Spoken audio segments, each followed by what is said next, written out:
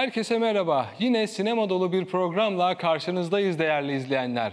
Bu bölümümüzde sizi neler bekliyor birlikte göz atalım. Sinema artı başladı. Sinema Artı'da bu hafta Görüntü yönetmeni Gökhan Tiryaki ile özel bir sohbet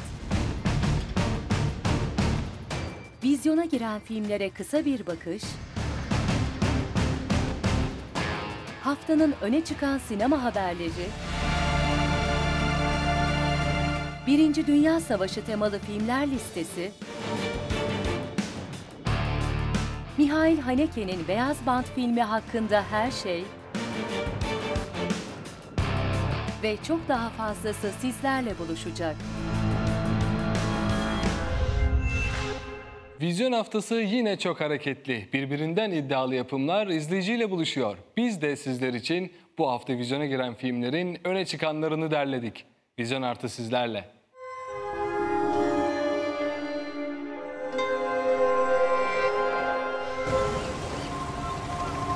Elveda oğlum.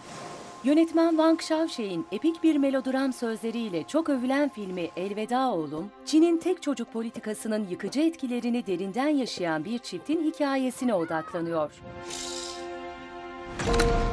Her iki başrolüne de Gümüşayı ödülü getiren film, ülkedeki ekonomik büyümenin ardından gerçekleşen toplumsal dönüşümü de gözlemleyerek sevgi, çocuk sahibi olmak, keder gibi kavramların altını çiziyor.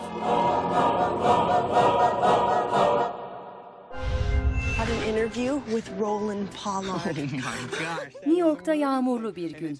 Birlikte romantik ve güneşli bir hafta sonu geçirmeyi planlayan ikili, şehre ayak basar basmaz hava durumu kötüleşir. Umdukları gibi bir zaman geçiremeyen çiftin yolları burada ayrılır. $70 million dollar movie and Raleigh's very unhappy with it. Birbirinden tuhaf maceralar ve karşılaşmalar yaşayan aşıklar, yeniden bir araya gelebilmenin yollarını ararlar. Woody Allen'ın yönetmen koltuğunda oturduğu filmin oyuncu kadrosunda Liev Schreiber, Timothy Chalamet, Selena Gomez, Jude Law ve Elle Fanning gibi isimler yer alıyor. Funny business going on. I couldn't sleep that night. I remember thinking I'm all alone.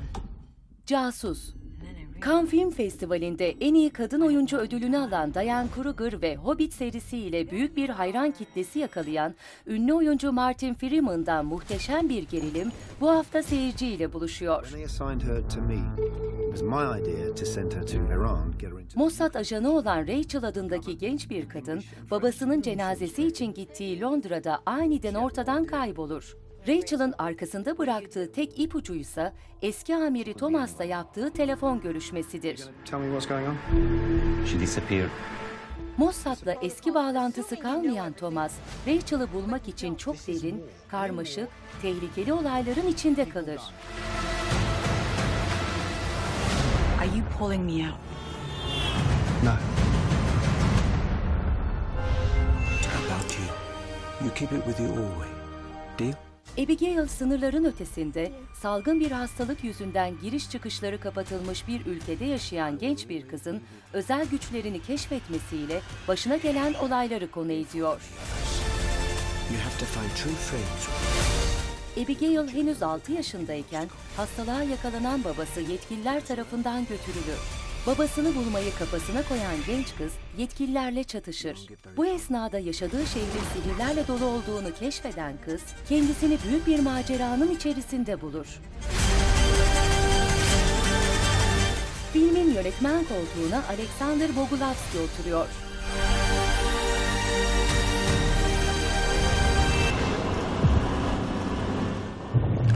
Aquarela, etkileyici anlatımıyla haftanın göz dolduran yapımlarından biri.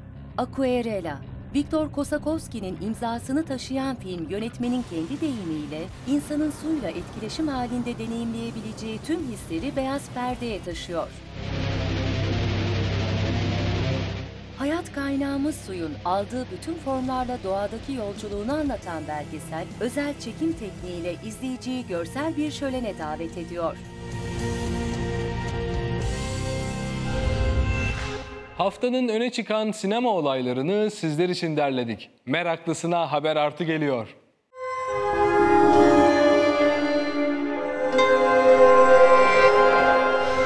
Vallahi billahi hiçbir şey duymadım ben. 92. Akademi Ödülleri'nde ülkemizi en iyi yabancı dilde film dalında temsil edecek olan film açıklandı. Benim de bir kızım var.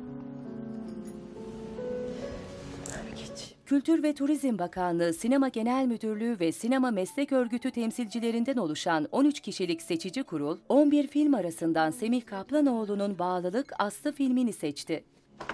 Seviyor musunuz birbirinizi? Efendim? Altın Ayı ödüllü Kaplanoğlu'nun Bağlılık üçlemesinin ilk filmi olan Aslı'nın, Şubat 2020'de gerçekleşecek Oscar ödül töreninde yarışmak için akademi üyeleri tarafından önce 9 aylık uzun listeye, sonra da 5 aylık kısa listeye seçilmesi gerekiyor. We have no. Son. Yılların fenomen dizisi Taht Oyunları'yla dünya çapında üne kavuşan Kit Harington, Marvel sinematik evrenine dahil oldu. Marvel'ın beklenen filmi The Eternals ekibine dahil olan aktör, filmde Black Knight'ı canlandıracak. 6 Kasım 2020'de seyirciyle buluşması beklenen filmde rol alacak diğer isimlerse şöyle. Angelina Jolie, Richard Madden, Salma Hayek, Kumail Nanjiani ve Gemma Chan.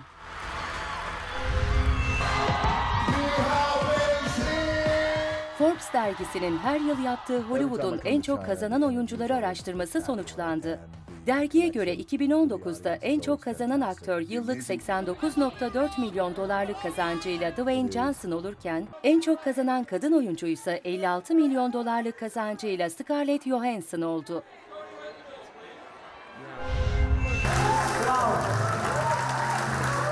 Bu yıl 25.si düzenlenen Saraybosna Film Festivali'nde ödüller sahiplerini buldu.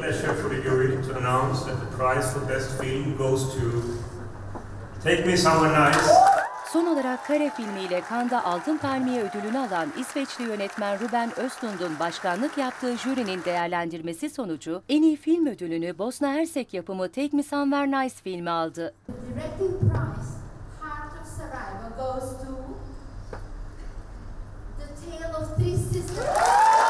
Dünya premierini Berlin Film Festivali'nde yapan ve çokça beğeni toplayan Kız Kardeşler filmiyle Emin Alper en iyi yönetmen ödülünü kucakladı.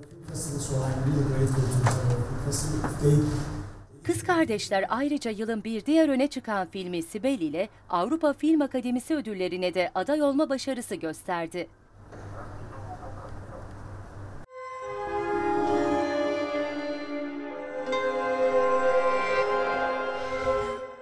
Sinema Artı'nın bu haftaki konuğu çok değerli bir isim. Türk sinemasına katkıları tartışılmaz. Görüntü yönetmeni Gökhan Tiryaki. Gökhan hoş geldin. Hoş bulduk. Teşekkür ederim. Keyifler nasıl, nasılsın? Çok iyiyim vallahi işte. Çalışıyoruz, devam ediyoruz. Tabii yoğun bir tempoda çalışmaya Evet. devam ediyorsun. Hakan Muhafız'ın çekimleri Evet, e, var. sürüyor hala. Bazı bölümlerinde yönetmen koltuğunda, bazı bölümlerinde yine görüntü yönetmeni olarak. Evet. Orada şöyle bir sistem yapılıyor. Çok kısa bahsedeyim mi? Tabii ki. Yani e, genellikle Netflix projelerinde böyle dizilerde 3 bölüm, 4 bölüm yönetmenleri çektirip çektirip daha sonra başka yönetmenler geliyor. Ve onlar çeken yönetmenler işlerini montajlarken diğer yönetmenler projeyi çekmeye devam ediyor. Ee, ben de ikinci sezonun ve dördüncü sezonun son iki bölümlerini çekiyorum. Buradan şunu anlıyoruz. Dördüncü sezonda olacak Hakan Muhafız dizisinde. Evet, evet. İşte Çok tutuldu çünkü. çekiliyor, Dünya evet. çapında izlendi muhtemelen. Evet enteresan şekilde çok şey yani e, Türkiye ve böyle Türkiye fantastik hikayesi dünyaya çok ilginç geldi. E, Netflix memnun ve bu çok güzel. Ve yani. kaliteli bir teknik ekiple beraber tabii ki e, dünya çapında ses getiren bir iş çıktı ortaya. Türkiye'de sinema teknik ekipleri, ekipmanları hakikaten dünya standartlarında. Dolayısıyla evet kaliteli yani. Evet. Sen de dünya çapında bir sinemacısın. Tabii bugün bir markasın artık. E, karşımda sıradan bir görüntü yönetmeni olmadığı için bu soruyu şöyle sormak istiyorum. Görüntü yönetmenliğini üstlendiğin yapımlardaki rolün nedir abi? Bana biraz anlatır mısın? Yani sadece kendi yaptığım şey üzerinden söyleyeceğim. Yani diğer görüntü yönetmenlerinden farklıdır ya da değildir diye o yüzden söyleyemiyorum. Ee, ama evet yani e, birazcık oyunculuklar, senaryo e, onlara da hizmet etmesi açısından e, görüntü anlayışını kurmaya çalışıyorum. Peki tabii şimdi e, endüstriyel sinemanın içinde de bulundun. İşte göğsünüzü kabartan Nuri Bilge Ceylan filmlerinin de arkasındaki en önemli isimlerden biriydin. Hangisine daha yakın hissediyorsun? Yani gişe filmleri mi yoksa e, bağımsız sinema mı mesela? Ya bağımsız sinema her zaman bana daha yakın gelmiştir. Yani birazcık e, çünkü beni daha çok heyecanlandırıyor. Yani beğenme ya da beğenmeme değil. Hani benim için bir sinemada insan ilişkisine ait bir mevzu e, derinlemesine işlenirken ki verdiği heyecan e, işte bir yerde bomba patlamasından ya da arabaların takla atmasından daha fazla oluyor. Yani sonuçta o tür sinemada e, yani, yani eğlence sinemasında bir şey izlersiniz. Ondan sonra diğer örnekleri artık onun çok aynısıdır. Ama insan ruhu inanın bana bin bir renge sahip. Ve her zaman değişik heyecanlar geri veriyor hemen. Peki tabii uzun süredir Bilge Hoca ile Nuri Bilge Ceylan'la e, e, çalışıyorsun Gökhan. E, sette de en güvendiği isimlerden birisin aslında Bilge Hoca'nın. Evet tabii öyle oldu. Sette e, onunla çalışmak nasıl daha doğrusu öyle sorayım. E, iş bittiği zaman nasıl birisi oluyor? Sizin iş ilişkiniz nasıl oluyor çekim sırasında? Şimdi şöyle biz normal sosyal hayatta böyle çok yoğun bir belki öyle gözüküyordur. Çok yoğun bir beraberliğimiz, böyle bir şeyimiz yok. O kendi hayat telaşında, ben kendi hayat telaşında şey yaparız. E, ama e, Nuri Bilge Ceylan'la set yapmak, e, böyle biraz maddelersek eğer, bir her şeyden önce hakikaten bu dünyada alabileceğiniz en iyi okul olarak görürüm. Müthiş. Yani bu müthiş bir şeydir. Yani böyle bir, e, avuç şanslı insandan biri olarak görürüm kendimi. Amacım burada Nuri Bilge Ceylan'ı işte övmek ya da başka bir şey değil. Yani bu aleni bir şey zaten. Ee, Bir durum tespiti yapıyorsun evet aslında yani sen şu o, o öyle. Yani e, öte yandan böyle hiçbir hezeyanı olmayan, yani çok fazla büyük duygusu e, olaylara karşı verdiği tepkiler açısından söylüyorum bunu. E, çok düz bir adam olması onunla çalışmayı aslında kolaylaştırıyor. Yani yapmanız gereken işinize bakmak. Ve yani hmm, böyle binlerce karışık e, meselelerle uğraşmıyorsunuz. Ya da yani ego olur mu, şu olur mu, onun gibi şeyler yoktur onun setinde. İşinizle ilgilendiğiniz zaman e, Nuri Bilge Ceylan hakikaten çalışılması en kolay adam. Aslında birçok usta yönetmendeki ortak yön bu. Fotoğrafla ilgileniyorsun. Hatta 2017'de bir e, sergi açtın, fotoğraf sergin çok ilgi gördü yine. Sence e, fotoğraf sanatı bir yönetmeni dolayısıyla sinemayı nasıl besler, nasıl etkiler? Fotoğraf bir sinemacının hemen hemen her yerinde. Yani e, sinema, siz sinema yapmak istiyorsanız ve sinemacıysanız sadece isteyip değil yapıyorsanız fotoğraftan kendinizi bağımsız düşünemezsiniz. Ama hangi yani senaryo yazarken bile gidip fotoğraf çekmeniz gerekebilir. Ee, dolayısıyla e, çok önceden tabii fotoğrafla ilgileniyor olmam. Daha sonra böyle bir özellikle TRT döneminde ve daha sonra özel sektörde işte var olma mücadelesi, hayat telaşı böyle e, işlerle uğraşırken biraz fotoğrafa ara vermiştim. Ama aynı zamanda bütün çektiğim filmlerde de hani mutlaka e, ya mekan bakmalarda ya da e, işte aralarda fotoğraf çekiyordum. Zaten o yaptığım sergi de oradan. O fotoğraflardan. Onların hepsinin bir sine- bir filmin hikayesi gibi aslında. Birbirinden güzel fotoğraflardı bu arada. Sinerama ismini de oradan koydum. Evet. Bu arada işte e, fotoğrafların panoramik. Yani biraz fotoğraf anlayışım da ona da gelişti. Sinemada zaten anamorfik dediğimiz yani e, 1'e 2.40 oranında geniş e, perdeyi seviyorum. Mümkün olduğu kadar. E, eğer spesifik olarak senaryo başka bir format istemiyorsa mutlaka anamorfik formatı uygulamak isterim. İklimler filmi için setindeydik ve Nuri Bilge Ceylan aynı zamanda fotoğraf çekiyordu. Ben de işte bir şey, benim de fotoğraf makinem var. Ee, o zamanlar böyle dijital makineler çok şey değil, popüler değil ve dijital makineye sahip olmak da değerli bir şeydi. Yani iyi bir dijital makineniz varsa. Ee, dijital makineler üzerine konuşuyorduk falan. Onu hatırlıyorum. Yani nereye geldiğine inanamıyorduk teknolojinin. Wow, evet. Evet yani Ee, çok geç değil. Ben mesela Issız Adam'ı 35 mm çekmiştim ki o filmden sonra. İlk filmlerden sonra yani. O zaman böyle panoramik fotoğraflar çekiyordu ve ben de çok beğenmiştim yaptığı fotoğraf çalışmasını. Yani kadrajı o şekilde e, kollaması ve onun üzerinden e, fotoğraflarını çekmesi çok hoşuma gitmişti. Dedim ben de senin gibi yapacağım. Çok mantıklı ve birazcık o şeydir. Hani onun fotoğraflarından etkilenme etkisidir o aynı zamanda. Hı hı. Peki Falan. seni fotoğrafa iten e, şey neydi? Muhtemelen e, Bilge Hoca fotoğraf sanatını şekillendiren kişi biraz da. Net olarak öyle. Evet. Yani bana fotoğraf çok önce. Ben ortaokul yıllarındayım ve Üsküdar'da bir şey vardır. Eski iskelelerin olduğu yerde büfe vardı ve dergiler vardı. Ve aylık bir fotoğraf sanat dergisi yeni çıkmıştı. Ee, o dergiyi aldım. Ee, ve o derginin tümünü daha sonra aldım her ay. Bu arada o zaman dergi almamız falan kolay değil. Hani maddi gelir açısından böyle orta halin biraz altında bir ailemiz vardı gelir seviyesi. Ama yani e, o, o dergiden hem çok şey öğrendim hem de o beni fotoğrafa bağladı. Derken babamın fotoğraf makinesini evde aldım, çekmeye başladım. Filmler aldım, sokaklara çıktım, çektim. Mahallenin fotoğrafçısına baskıya veriyordum.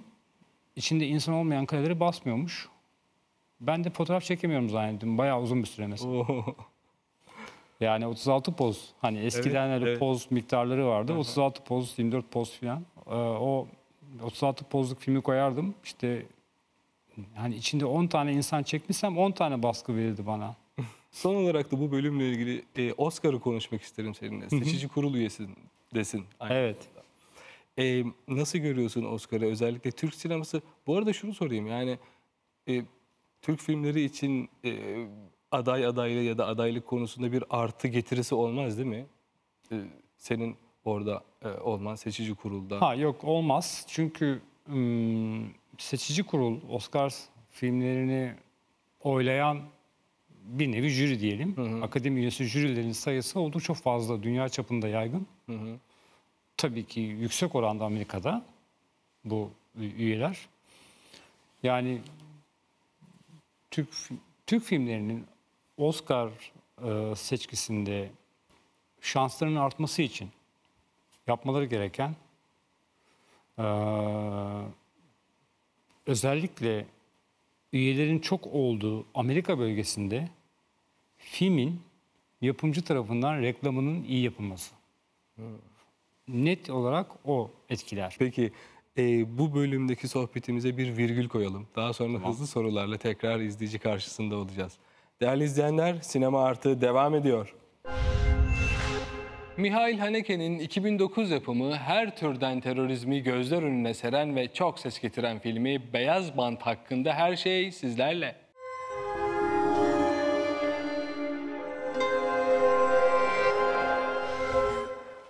Den Siggi?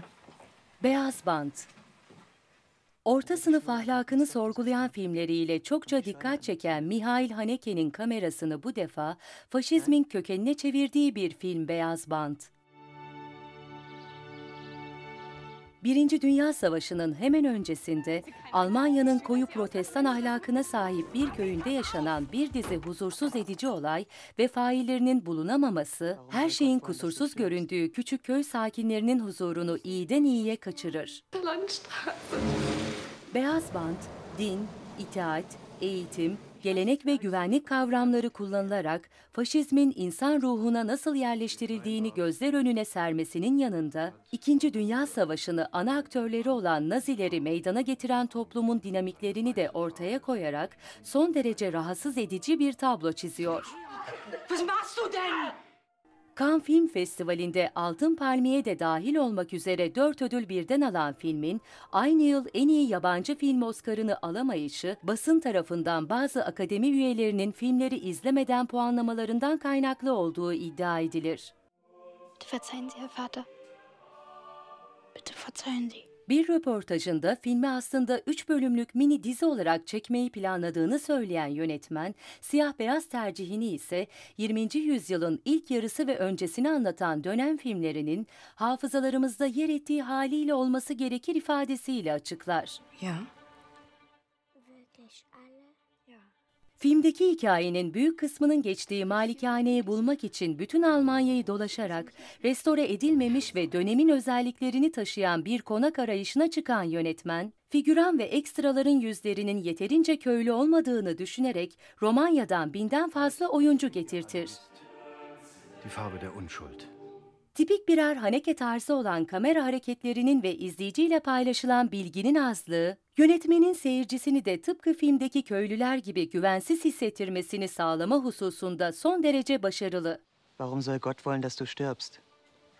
Bunların yanında kahramanın ve bir kurtuluşun olmayışıyla Beyaz Bant, yönetmenin bütün filmleri gibi insan doğasının kötülüğünün altını çizerek mutlak itaatin içerdiği potansiyel tehlikeye karşı güçlü bir uyarıda bulunmayı da ihmal etmiyor. Ja.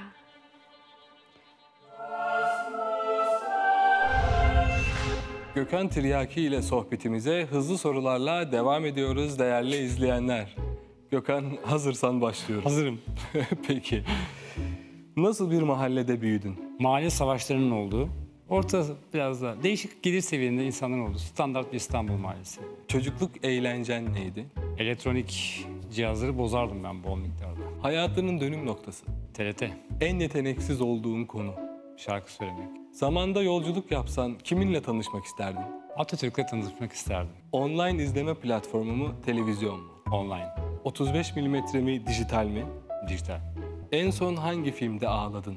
Ya böyle ağ- ağladım mı çok hatırlamıyorum ama Force Majeure beni etkilenmişti, etkilemişti yani en son.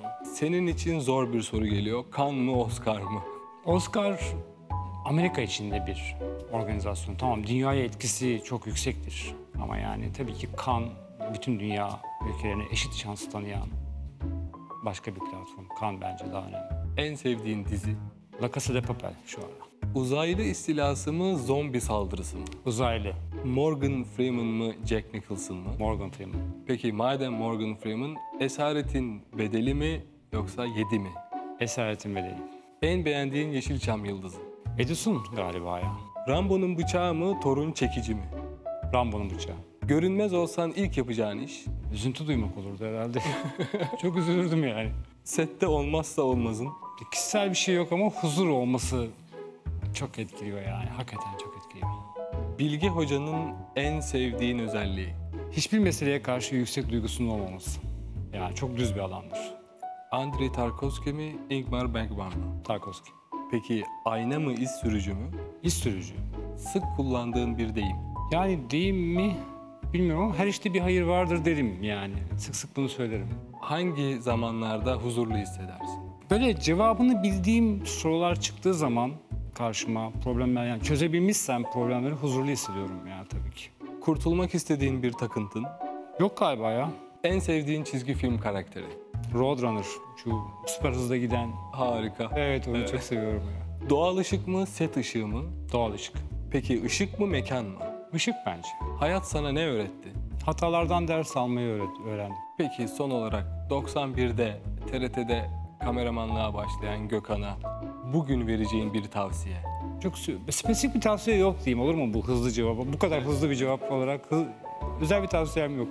Gökhan Tiryaki çok teşekkür ederim. Ya, çok teşekkür Değerli görüşlerin için. Çok sağ ol. Sağ ol, var ol. İyi program. Değerli izleyenler, Sinema Artı bütün hızıyla devam ediyor.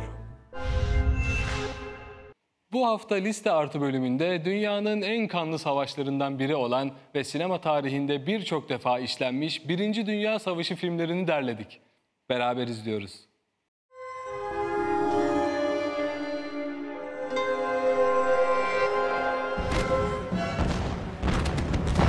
Vatan topraklarını düşmandan temizlediğimiz gün olan Zafer Bayramı'nın 95. yıl dönümünü kutladığımız günlerde sinema artı olarak sizlere dünya tarihinin en kanlı savaşlarından olan Birinci Dünya Savaşı'nı konu alan filmleri derledik.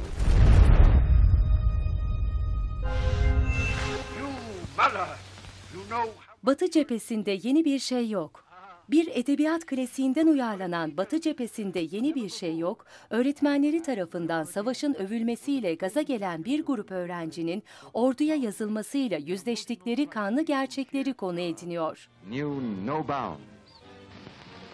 İki Oscar'lı yapım, sinema tarihinin ilk savaş karşıtı filmi olmasının yanı sıra pek çok yönetmene de ilham kaynağı olmuştur. Zafer Yolları Usta yönetmen Stanley Kubrick'in başyapıtı Zafer Yolları, insan hayatının ucuzluğunu, savaşın kanlı yüzünü ve rütbe uğruna harcanan yaşamları konu edinen bir film. Gerçek bir hikayeden esinlenen ve savaş karşıtı filmlerin önde gelenlerinden olan yapımın gösterimi uzun yıllar boyunca çeşitli ülkelerce yasaklanmıştır. Savaş Atı Modern sinemanın en etkili isimlerinden Steven Spielberg'ün yönettiği Savaş Atı, kan ve kurşun olmadan anlatılan, adeta Hollywood klasiklerini andıran bir dram. Çok sevdiği atını savaşta hizmet etmesi için orduya teslim eden bir adam ve atın başından geçenlerin anlatıldığı film, savaşa dair yeni bir söz söylemese de Spielberg'ün ustalıklı hikaye anlatımı ve görselliğiyle ayrı bir yerde olmayı hak ediyor.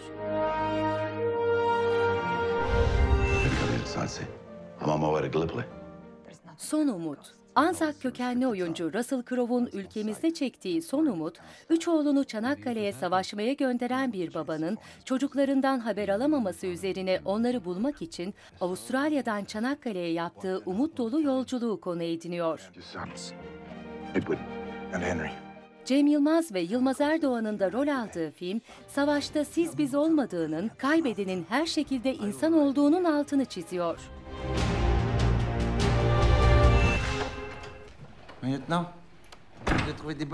Ateşkes Savaşın en hararetli dönemi olan 1914 Noel'inde geçen film, cephedeki tarafların anlaşarak Noel süresince savaşa ara vermeleri ve bir süreliğine de olsa gerçek hayata dönmelerini konu ediniyor. Birlikte dans edip maç yapan askerlerin kısa bir aradan sonra yeniden birbirlerini öldürmeye dönmeleri adeta bir fıkra konusu gibi dursa da olayın gerçekte yaşanmış olması savaşın acımasızlığını bir kez daha yüzlere vuruyor.